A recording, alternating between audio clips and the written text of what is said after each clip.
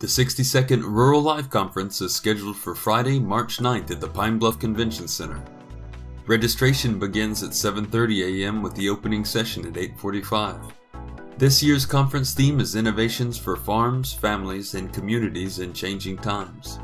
Sponsored by the University of Arkansas at Pine Bluff School of Agriculture, Fisheries, and Human Sciences, this year's conference features several workshops, a poster session, and exhibits by governmental and community agencies. Registration is requested of everyone even though the conference is free to producers, homemakers, and retirees.